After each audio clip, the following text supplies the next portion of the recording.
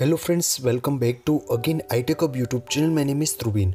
Here in this video, I will show you how to fix select all text options not showing on iPhone whenever select the text. When open the any applications, I went to select all the texts, but here the text all options is a not showing. Are you facing same problem on your iPhone? Now this questions is what is the process for that and how to fix. Simple trick is now first of all step on the words and same cursor again tap on it and here the select all options available. Another second trick is also most important now simple tap on the paragraph 3 times again and again and again now again automatically select your all the texts.